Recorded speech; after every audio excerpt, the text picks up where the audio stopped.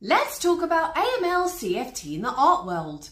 The world of art, a realm categorised by boundless creativity and cultural expression, has long captivated hearts and minds across generations. However, beneath its enchanting surface lies a realm grappling with a pressing issue, the implementation of AML CFT measures. And in 2019, a report by the Basel Institute on Governance estimated that the global art market could be used to launder up to $1.6 billion annually. Now, to find out more information about AML CFT in the art world or any other AML KYC related topics, follow us on social media or visit our website at kyclookup.com.